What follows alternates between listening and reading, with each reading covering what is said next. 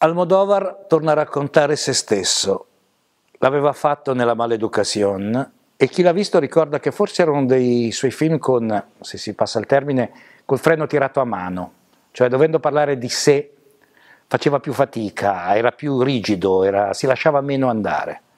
Questa volta invece con Dolori Gloria, segnato già dal titolo che è proprio la definizione di quello che poi uno vedrà nel film, ha avuto più coraggio, si è si è lasciato andare alle emozioni e soprattutto ha trovato, come aveva fatto Fellini con Mastroianni, l'attore giusto che lo rappresentasse sullo schermo. Ha preso Banderas, un Banderas invecchiato, non imbolsito, se, anche qui se si passa il termine, come ormai sta diventando un po' Pedro,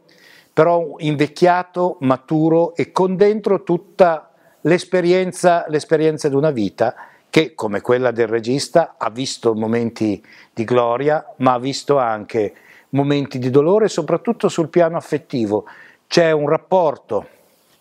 amoroso di, eh, di Almodovar nel film, raccontato proprio a cuore aperto e credo che sia uno dei momenti in cui Almodovar di tutta la sua cinematografia ha saputo emozionare di più.